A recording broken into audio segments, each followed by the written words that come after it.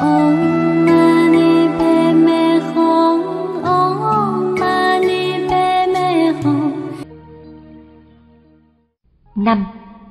Tà chất về cái không sanh mà cho là sanh Lại nữa, thiện nam tử ấy đã quan sát tường tận tính không của các hành, đã chấm dứt sinh diệt rồi, nhưng chưa viên mãn tính tịnh diệu của tịch diệt. Dạ, lại nữa, thiện nam tử ấy đã quan sát tường tận tính không của các hành, đã chấm dứt sinh diệt rồi, nhưng chưa viên mãn tính tịnh diệu của tịch diệt. Lại nữa, hành giả, người đang tu tập chánh định, tập trung nghiên cứu đến mức quan sát cùng tột tánh không của hành ấm, đã chấm dứt hẳn ý niệm sanh diệt, nhưng chưa được tính tinh diệu viên mãn của sự tịch diệt. Hành giả vẫn còn mang trong tâm thức những hạt giống sinh diệt rất nhỏ nhiệm, vi tế. Nếu trong lúc đã đạt được sự tùy thuận duyên dung hỗ tương của các căn, lại nơi tính duyên dung biến hóa hết thảy đều phát sinh, mong cầu ánh sáng của lửa, thích tính trong lặng của nước, ưa sự châu lưu của gió, nhìn ngắm xem xét sự thành tựu của đất, trân trọng mọi loài.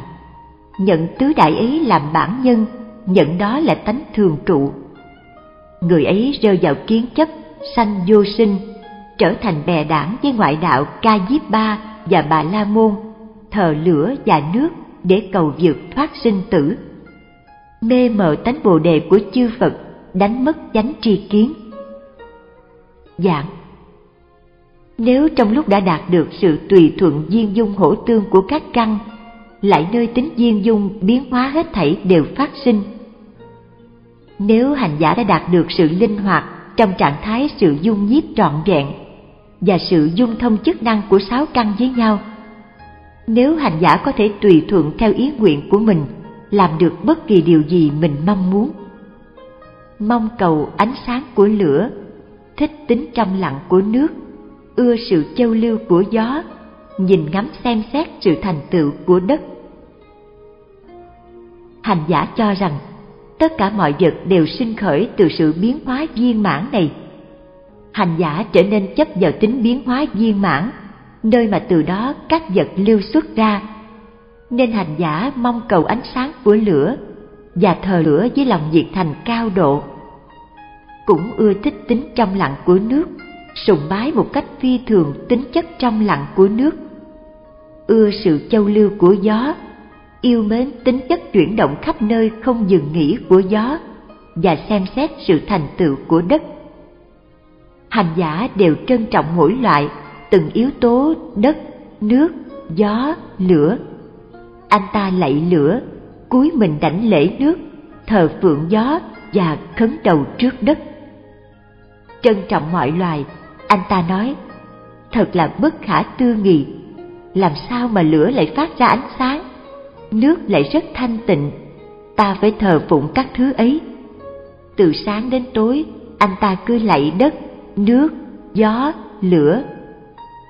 Và thờ phụng bốn yếu tố này, anh ta sùng bái và cúng dường tứ đại.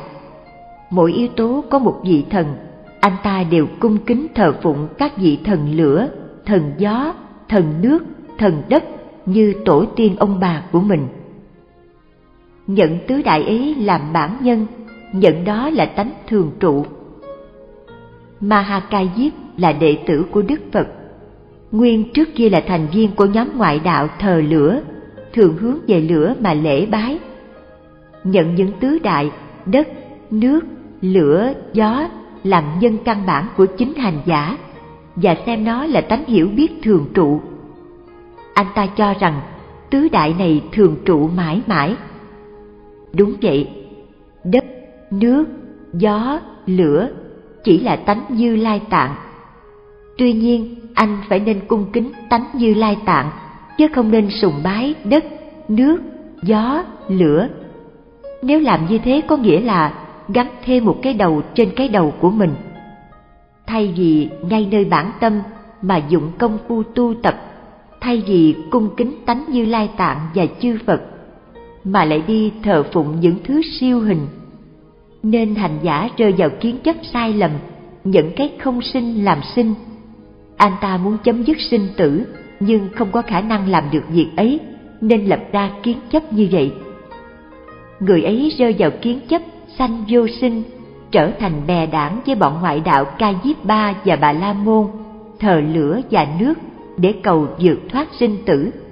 Mê mờ tánh bồ đề của chư phật đánh mất chánh tri kiến. Ca diếp ba thuộc dòng họ đại quy, cùng với các phạm chí, bà la môn, tu tập hành thanh tịnh. Họ bắt ép thân tâm mình tuân theo những việc khổ nhọc vô ích. Họ thờ phụng lửa và lễ bái nước. Cầu mong qua việc thờ phụng tứ đại mà có thể vượt thoát sinh tử. Hành giả thành bè bạn với loại ngoại đạo này. Mê lầm tánh bồ đề của chư phật đánh mất chánh tri kiến, đánh mất trí tuệ chân chính.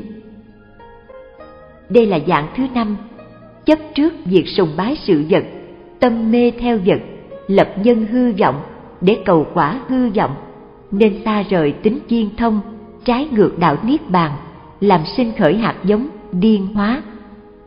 Dạng. Đây là dạng thứ năm, mê lầm chấp trước vào việc sùng bái sự vật lập nên cái nhân hư vọng, khiến tâm chấp trước vào việc thờ phụng tứ đại. Tâm mê theo vật, lập nhân hư vọng để cầu quả hư vọng. Đây là luận thuyết điên đảo thứ năm. Quan niệm điên đảo đã đưa hành giả đến việc thờ phụng, cúng dường tứ đại. Anh ta trở nên mê mờ chân tâm thường trụ, như lai tạng tánh của chính mình. Lại đuổi theo sự vật bên ngoài anh ta dựng lên cho riêng mình một kiến giải sai lầm cho vấn đề giải thoát sanh tử. Đây chính là cái nhân sai lầm. Với nhân mê lầm này, anh ta hoàn toàn đánh mất hy vọng vượt thoát sanh tử. Xa rời tính duyên thông, trái ngược đạo niết bàn, làm sinh khởi hạt giống, điên hóa. Hành giả trở nên xa hẳn với tính duyên thông, trái ngược với đạo niết bàn, làm sanh khởi hạt giống, biến hóa điên đảo.